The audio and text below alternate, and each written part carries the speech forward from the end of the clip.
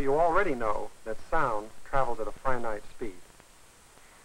It travels at a speed that you can sense for yourself. And of course, if you want to, you can go about measuring it. It's really quite simple, particularly if you use echoes.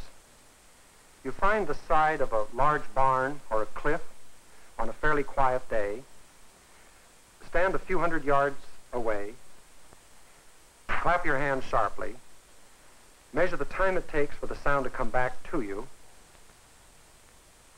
and then measure your distance from the reflecting surface.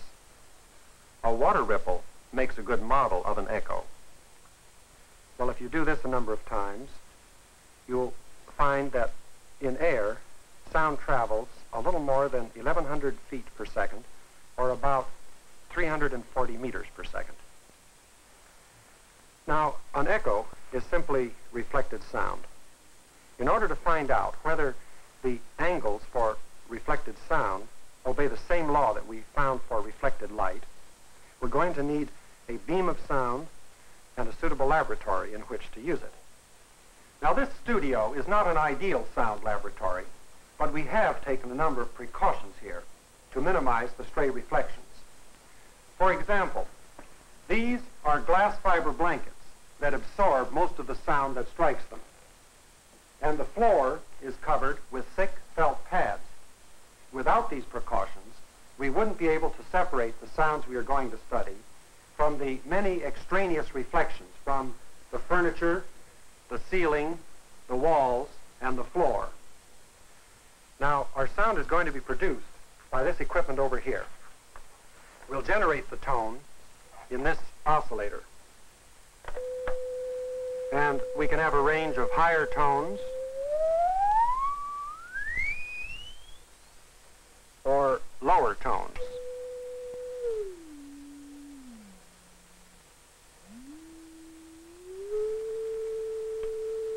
And, of course, we can also adjust the intensity up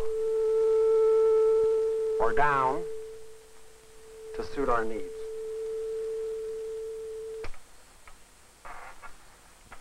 Now, the electrical output from this oscillator is amplified over here, and then it activates a loudspeaker driver.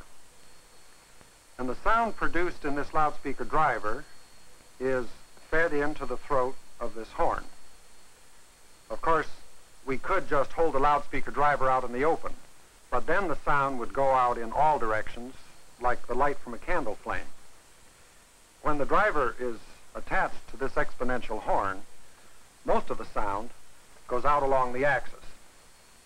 Of course, we can hear a little sound all around, but over here in front, it should be very much louder. Uh, let me listen.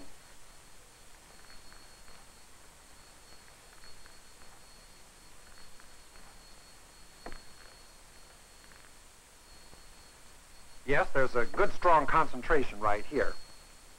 And so that you can hear what I hear, we've set up this special microphone. And we've mounted this meter near the mic so that you can see the changes in sound intensity as well as hear them. Now let's see what kind of beam this horn is giving us. First we'll turn on the microphone.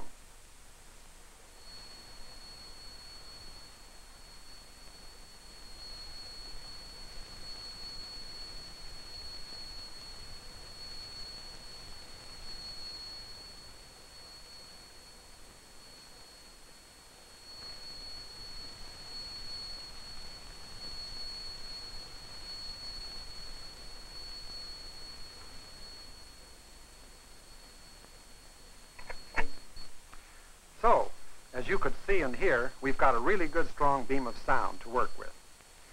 Now let's put a reflector in the way. I'll put the mic over here first. And then push this baffle around to put the hard side in the beam.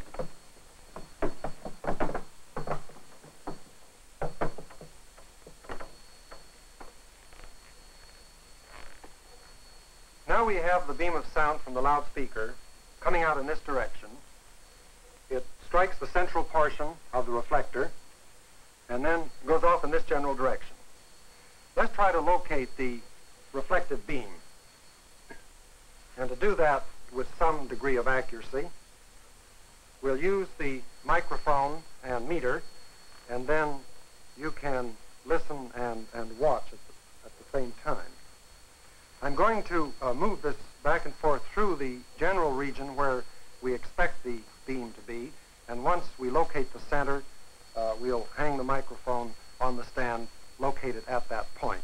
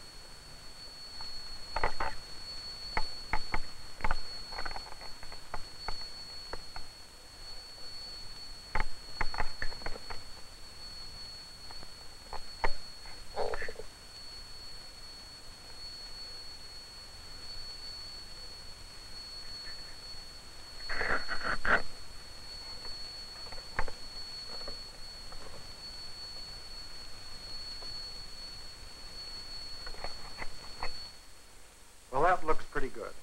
Let me just turn it on again for a moment and see if we really have it up near the top of the scale.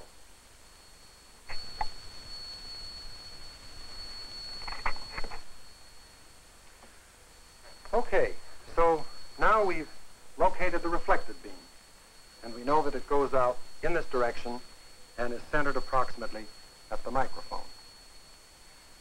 However, we, we're still assuming that the sound is going through this path and along this path to the microphone. Let's see if we can't check that more rigorously. And here's one way to do it. I'll use this as a shield and intercept the reflected beam. Of course, when I do this, the, the sound should drop and, and the meter should go down. And of course, I can also intercept the direct beam or even put the shield right here where the two beams come together at the reflector.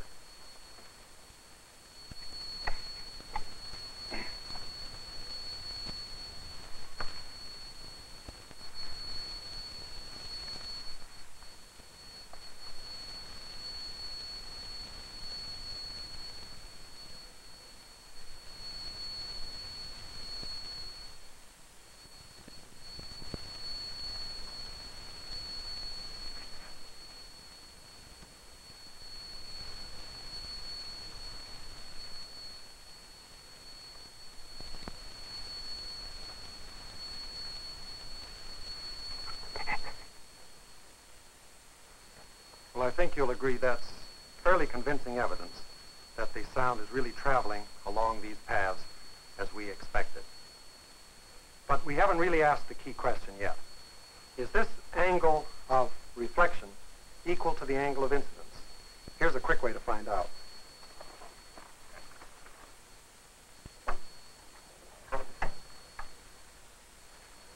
Looking past the microphone and into the mirror, you can see that the microphone lines up with the axis of the horn.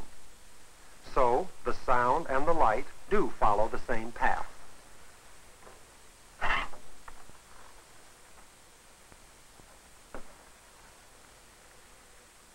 Now let's sum up a bit. We've shown that sound travels in straight lines and reflects, and that the angle of reflection is equal to the angle of incidence. Particles do this when they bounce off of a reflector. But also, waves behave the same way, as we've already seen with light and with water ripples. So which do we have here, particles or waves? Well, for one thing, waves bend around corners, whereas particles normally go straight ahead. Waves diffract. They spread out through narrow openings. And they spread in behind obstacles. And waves spread around the ends of barriers. We know from common experience that sound bends around corners. Let me turn this microphone on so that now you'll be hearing my voice only through this microphone. And I'm going to walk around behind our baffle and keep talking to you. Now, of course, you still hear my voice, though it's a little bit weaker. And this makes it obvious that the sound from my voice is indeed bending around this baffle uh, in order to get back to the microphone. Well, from this point of view, it certainly seems clear that we are dealing with waves and not with particles. But there are many other characteristics of waves that you know about, so why don't we try to tie this question down more firmly? Now, a very basic test for waves is to look for an interference pattern. A good example of interference is a standing wave, such as we ought to be able to establish in front of this baffle. So let me pull it around.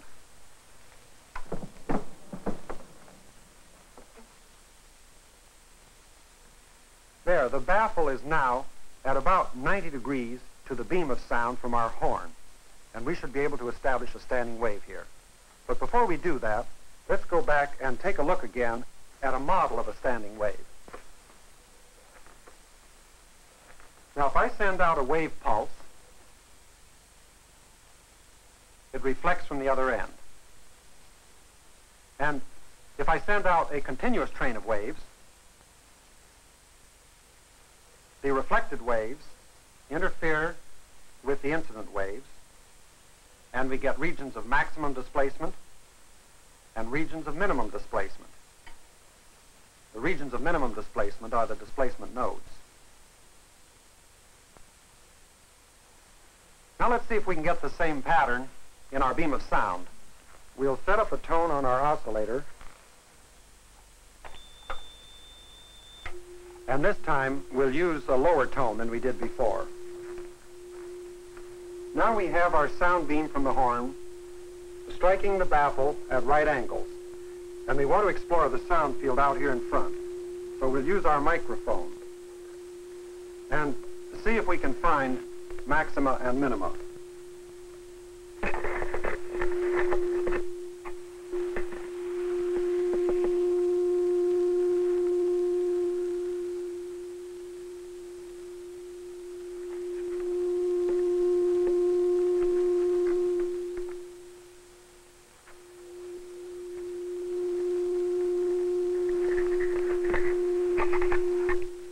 Well, clearly we have maxima and minima.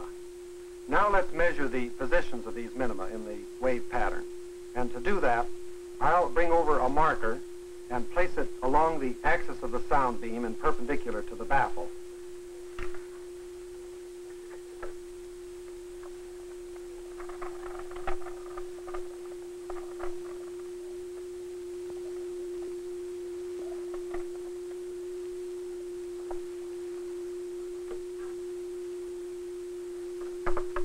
And I'll the microphone on again.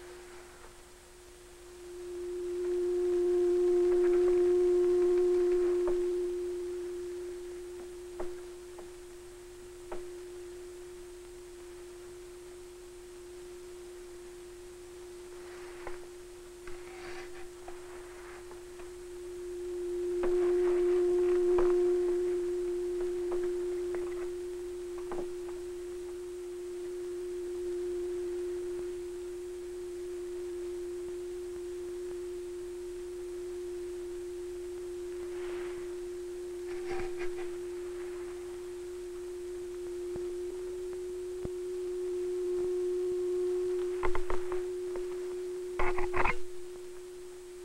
I'm sure you'll agree that we had sharp nodes at these points that we've marked. The sound level dropped abruptly, and the meter went down to the bottom of the scale. So the evidence is mounting that we do have a standing wave here, that this is an interference pattern, and inevitably that sound is a wave phenomenon.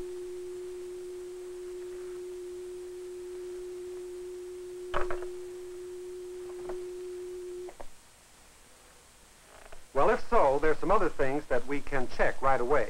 For one thing, as you know, in an interference pattern, the dimensions depend upon wavelength.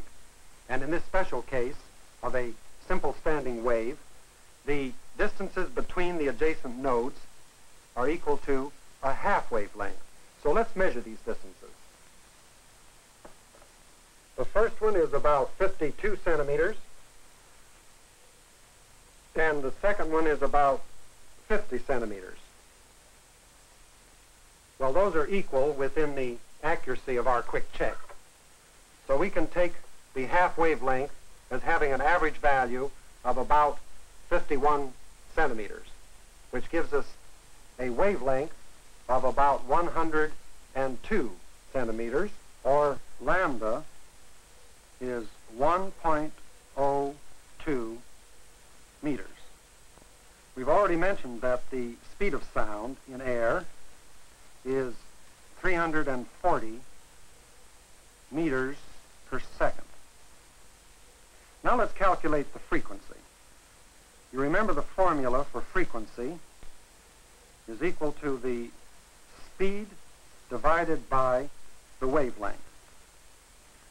Incidentally, there's a nice way to visualize this formula physically.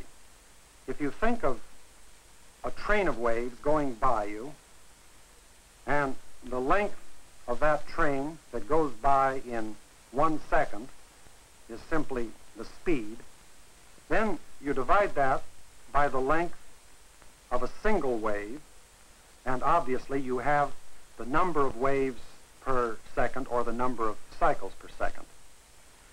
All right, in this case, the frequency is equal to 340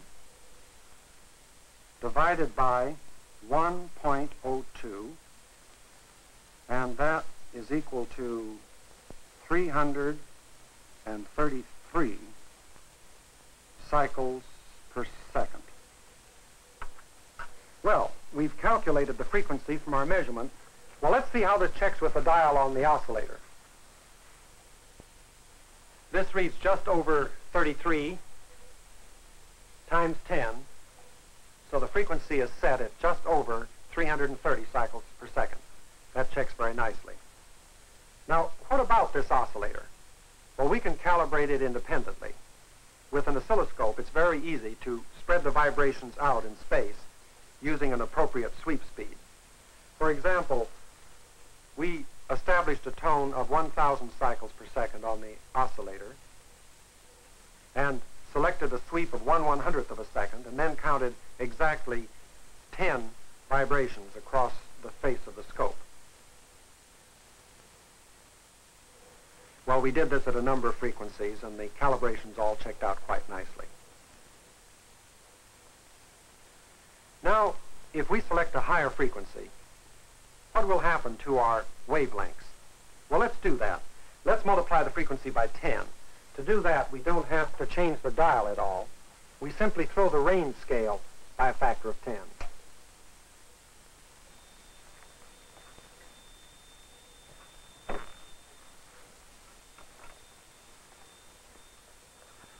So now we've increased our frequency by a factor of 10. We should have cut our wavelength to one-tenth. Let's mark the positions of the nodes with this higher frequency. I'll turn on the microphone.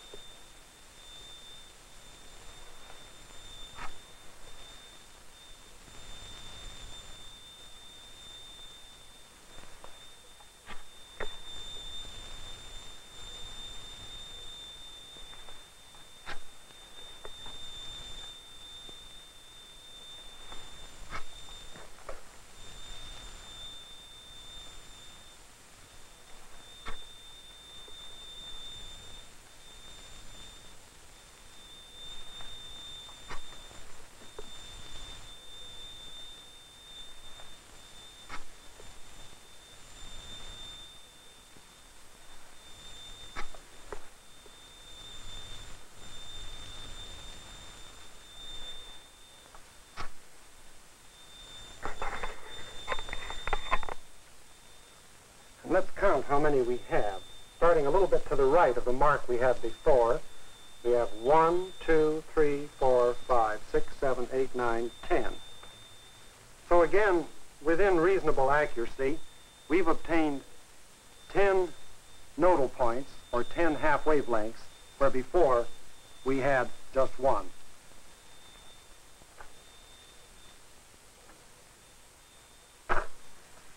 And this, of course, shows that our wavelength has gone down by a factor of 10 when we increased our frequency by a factor of 10. Now, one interference effect might conceivably be an accident. There's another familiar one that we can try. You've used a grating to obtain interference with light and with waves in a ripple tank. This is an interference pattern beyond the grating, a transmitted pattern. And this is the reflected pattern produced by a grating. Notice the antinode holding steady in this direction, and the nodes here and here. If we were to investigate this pattern along an arc like this, we would pick up regions of minimum displacement alternating with regions of maximum displacement. We would be observing a cross-section of this interference pattern. We can do a grating experiment with sound using a similar geometry. A grating, a source of sound, a receiver with which to explore along an arc about the grating, and a baffle to block direct transmission between the source and the receiver.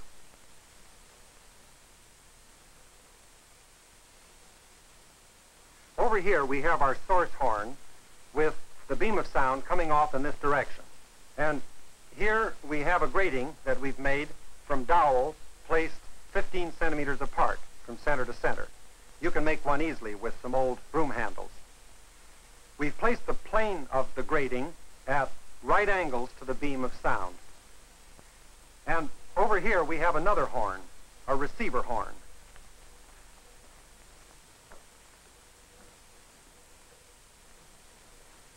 As you see, we've inserted our microphone into the throat of this horn, and this gives us a sharply directional receiver to pick up the rather weak sound that's reflected from the grating, and also to discriminate against sound from other parts of the room.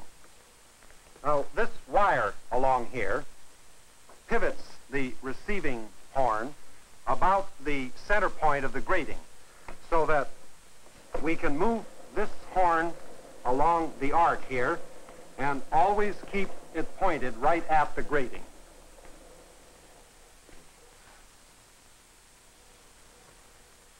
Now let's set up a tone on our oscillator. And we've picked 5,000 cycles per second this time.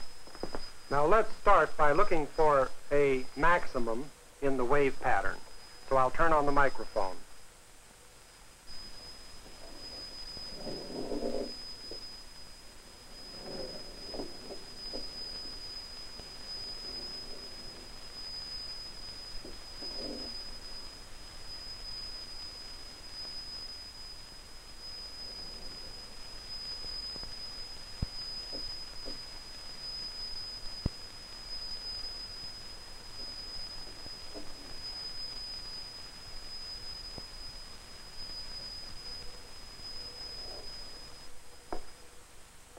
There we found a good strong maximum and marked it.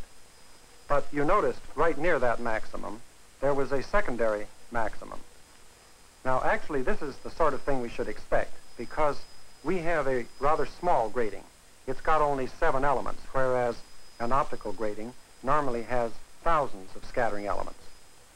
And because of its finite size, this grating produces a secondary interference pattern that's superimposed on top of the primary interference pattern. The primary pattern is the one that's determined only by the spacing between the elements and the wavelength. So as I continue to explore this sound field, I'll try to pick out only the highest maximum and the lowest minimum. In other words, I'll try to mark only the primary interference pattern.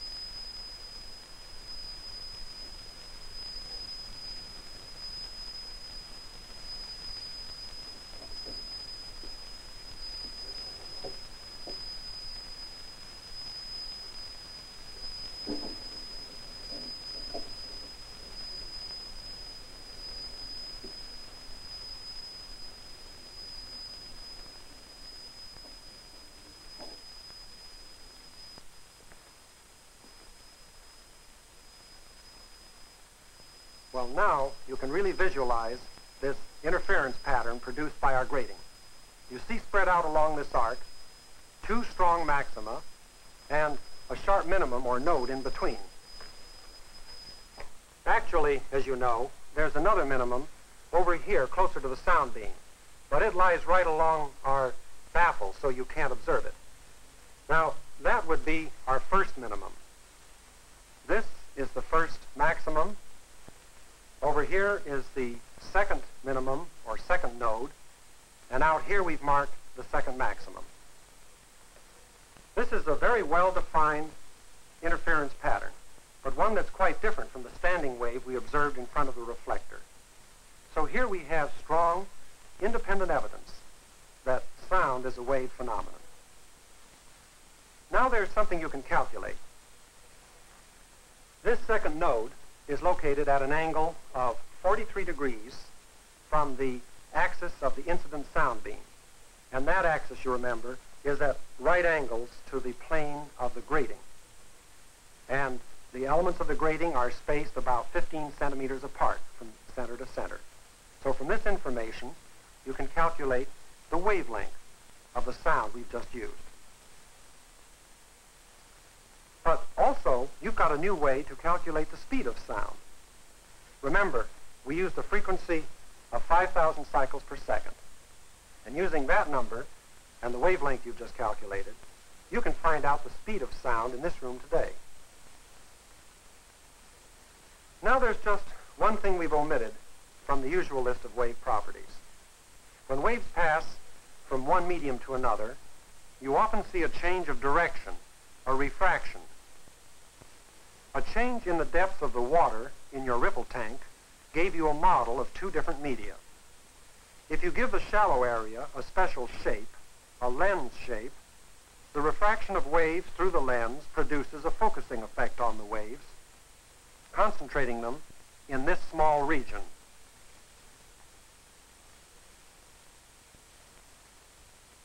With this double convex lens, we're going to try to refract sound to focus sound waves.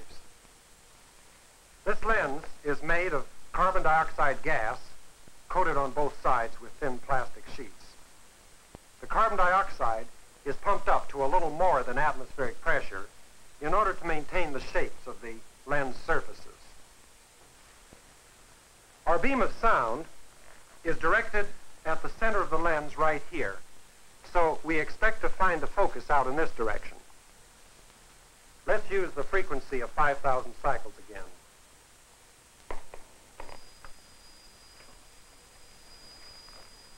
The screen here is almost perfectly transparent to sound. And it's located right where we expect to find the focal pattern.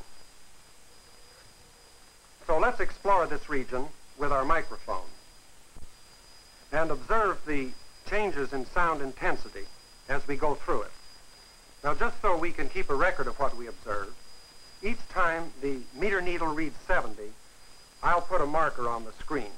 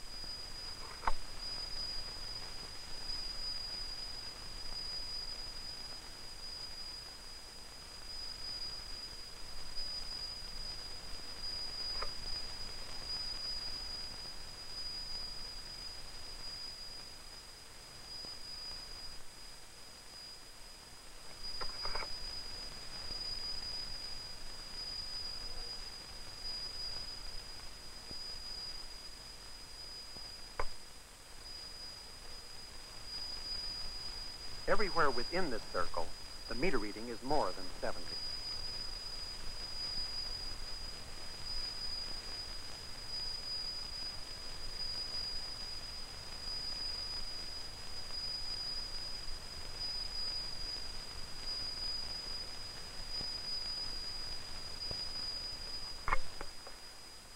Well, that looks like a satisfactory focal pattern, but how can we be sure that we aren't simply measuring the cross-section of the beam directly from the horn?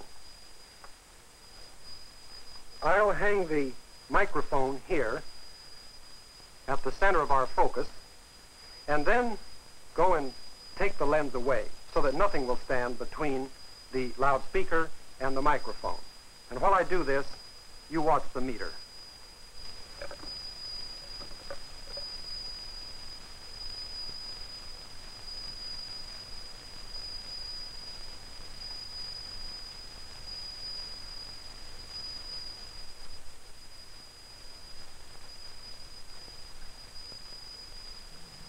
Well, our lens works.